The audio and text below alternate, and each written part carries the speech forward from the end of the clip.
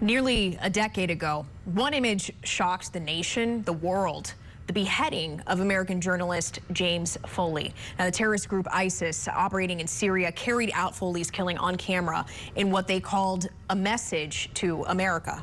Certainly traumatizing. Yeah. But now, it is Foley's mother, Diane, who has a message of her own. In a new book called American Mother, she writes about meeting and confronting one of her son's killers who is now behind bars. Wow, national correspondent Maya Rodriguez sat down one-on-one with her to talk about James Foley's, uh, what she learned, the mother, from that experience. Maya, what did she say that she really took away from meeting with her son's killer?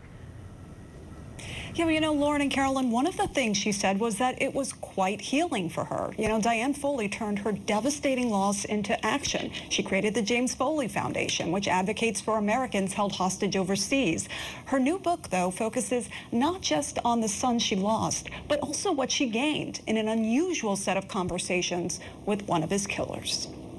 Within the pages of American Mother, it's this mother, Diane Foley, whose voice bursts from the page. I really wanted to do a book so that people might understand what we went through and the challenge our country faces. The story begins in 2012.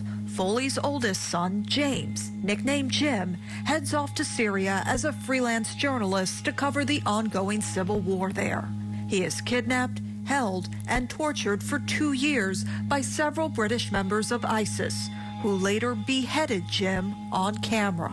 This is how Diane Foley found out what happened to him. I looked at Twitter and there was the horrific image of um, Jim's head on his back. I mean, it was just shocking. The shock of the cruelty spread across the nation and world. Eventually, Jim's killers were tracked down. One killed by a U.S. drone strike, the other two captured by Kurdish militia forces in northern Syria taken into custody and extradited to the U.S. for trial.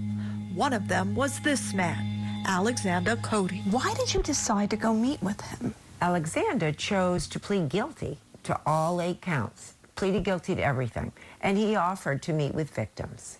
And I knew Jim would have met him and wanted to hear his side of the story. Over the course of three meetings, Foley met with her son's killer inside a windowless room in a Virginia courtroom. What was that like? It was awkward. It was awkward for him and for me.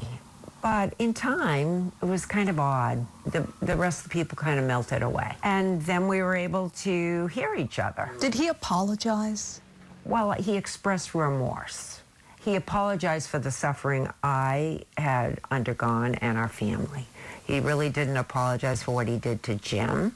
He saw that as separate and kind of part of their war, their vendetta against the West. But um, he wrote me several letters after that, and they all were filled with similar remorse. So there was a part of it, Maya, that was I think healing on both sides. One of those letters he wrote to Foley is reproduced in the book. Careful looping script from the person who took so much from her. How difficult was it to go into that room and, and confront him? It wasn't easy at all, but I just knew Jim would have done the same thing. And so uh, Jim, right along since he was killed, has challenged me to try to be a better person, a bigger person. With God's help and Colum's um, generous offer to accompany me, um, I was able to go. Colum is the book's co-author, Colum McCann. And it was one of the most extraordinary uh, moments of my life. He accompanied Foley during the courthouse conversations with Kotey. She's extraordinary, but she's also ordinary. Diane is a nurse practitioner. She lived in a suburban house in New Hampshire. Her son went away and her son didn't come back, but she decided there, uh, out of all of that, she would change the way that other sons and daughters would come back. That to me is a powerful, powerful story. And it's the divides that Foley says she wants to bridge. One of the reasons she's telling her story, Jim's story, in full now. What do you hope people take away after they read this book? I hope we inspire people. These, these are kind of dark times in some ways, right?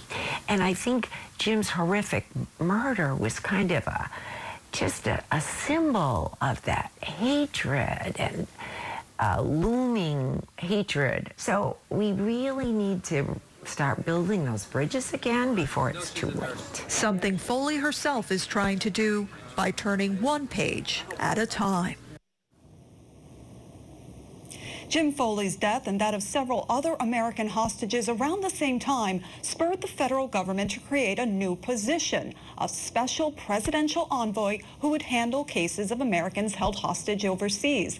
That point person didn't exist when Jim was kidnapped, but now it does, something Diane Foley also sees as part of her son's legacy.